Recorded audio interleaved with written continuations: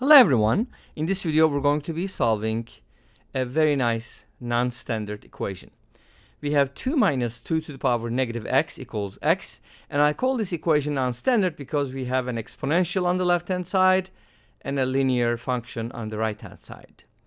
So let's go ahead and take a look. I'll be talking about Lambert's W function to solve this problem. I'm going to show you the results from, Wolfram Alpha, both the exact values and the approximate values. And then we'll finish up with a graph. So let's get started. So in this equation, first of all, I want to do a couple different things. I'm going to do a lot of manipulations. So, you know, dividing both sides by something, multiplying, adding, subtracting, whatever. Whatever I need, I'll, I'll walk you through it. And let's get started. First, I'd like to subtract x and add 2 to the power negative x because that's what my equation needs to be uh, in. That form I do need. So 2 minus x equals 2 to the power negative x. Great. So I'm going to be doing a few different things on this equation to bring it to the point uh, that I can manipulate using Lambert's W function. Okay? Great. So let's go ahead and start by multiplying both sides by 2 to the power x. So 2 minus x to the power 2 to the x equals 2 to the power negative x times 2 to the power x. Everything we do is allowed here. Basically, we're not really violating any of the rules. If you do see anything that doesn't work, let me know. So now 2 to the negative x and 2 to the x is going to give us 2 to the power 0, which is 1. So that's kind of nice. So we get 2 minus x times 2 to the power x equals 1. Awesome. The next thing we're going to do, and I know first these things are not going to make that much sense to you, uh, hopefully it'll be understood. But my goal is to basically bring this expression into a Lambertable uh, form. And what do I mean by that is what is Lambert's W function? Let's go ahead and open up parentheses here and start quickly talk about Lambert's W function. So it's basically a function where it takes x times e to the x as an input and outputs just x. In other words, it's the inverse function for x e to the x because if you invert this you're going to get that. So basically whatever this function is we're talking about the inverse of this function okay? And notice that in order to be able to get to that you do need something like x multiplied by e to the x and I'm not there yet but we'll get to it. We have a 2 at the base we'll take care of that and we don't have an x but we have 2 minus x. You get the idea? Okay hopefully you do. And let's continue from where we left off. I'm going to go ahead and multiply both sides by 1 fourth next from here, multiply both sides by 1 fourth. And obviously 1 times 1 fourth is 1 fourth. And now 1 fourth can be written as 2 to the power negative 2. Let's go ahead and write it that way. And then combine these two exponentials. And hopefully you get to see what I'm trying to get at. This is going to give us 2 to the power x minus 2. And the whole thing is equal to 1 fourth. Nice. Notice that my exponent is x minus 2 and whatever multiplies it is 2 minus x. They're opposites, so we can easily take care of that by negating both sides. In other words, multiply both sides by negative 1 and you'll get what you need. So here's what it looks like. Multiply by negative 1 and multiply by negative 1. Just put a minus sign there and you're good. When you multiply 2 minus x by negative 1, it becomes x minus 2 because the opposite of a minus b is b minus a. That's an important property you should know. And then now we almost got what we wanted. And I don't know why notability is messing up my equations like that. No idea why that's happening. And then this is going to be negative 1 fourth.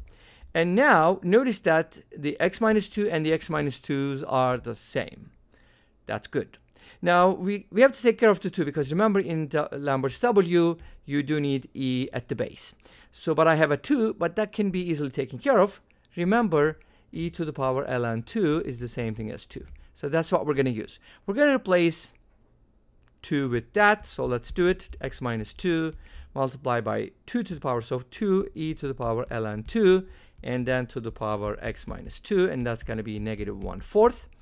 And then we're going to go ahead and multiply the exponents. That's what it means. x minus 2 times e to the power x minus 2 ln x equals negative 1 fourth. We're almost there. Notice that the exponent is x minus 2 ln x, but the, the number, the coefficient is x minus 2. So I do need to multiply both sides by, by the way, that's not ln x, it's supposed to be ln 2. I just realized I'm not, it shouldn't be a variable. Okay, so I'm supposed to no notice that this is the expression I'm trying to get at, but I only have x minus 2, which means I must multiply both sides by ln 2 next. You see how it proceeds? Hopefully you do. x minus 2 multiplied by ln 2, and that is multiplied by e to the power x minus 2 multiplied by ln 2. Notice that we got what we wanted, and then multiply negative 1 fourth by ln 2, you're going to get negative ln 2 divided by 4. Awesome.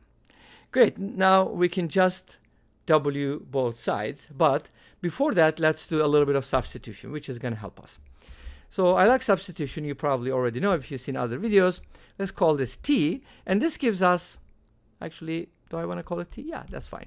t times e to the t equals negative ln 2 over 4. So the left-hand side is nice because if I just apply Lambert's W function, I'm going to get t from here. Make sense? Awesome. But before we do that, let's go ahead and work on negative ln 2 over 4 a little bit, and then we'll come back to this. Okay? So take negative ln 2 over 4, write it as negative 4 ln 2 divided by 16. In other words, I multiply the top and the bottom by 4. Why am I doing that? My goal is to get the something like this with a constant. And to be able to get that, I want to be able to use powers. So because powers are very powerful, haha, that's a cheap joke. But anyways, I can now go ahead and move this by using properties of logs, and that gives me ln 2 to the power negative 4 divided by 16. Awesome. What can I do with this? Well, I could probably do the following. Actually, that there's probably a better way to do it. Let me write it this way. So since I have the negative 4 already, I can go ahead and write it like this. This can be written as negative 4 ln 2 multiplied by 1 over 16. And then now I'm going to do something for 1 over 16. Let's go ahead and leave negative 4 ln ln 2 alone, but write this 1 over 16 as e to the power ln 1 over 16. Remember, that was the same idea that we used to write 2 as e to the power ln 2, and we're basically using the same, same idea here. Okay?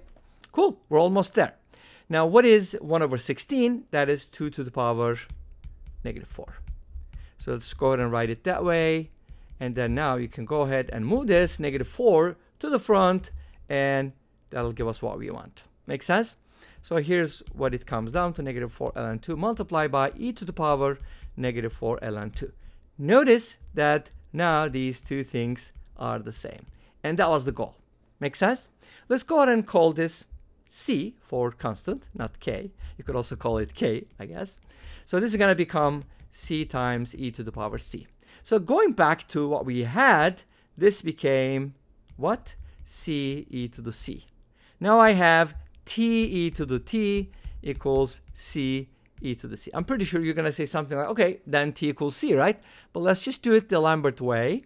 So we're going to w both sides, and then that's going to give us the answer pretty much. And from here, by applying Lambert's w to this, you're going to get t, and you're going to get c from here. Now, what is t and what is c? Let's back substitute.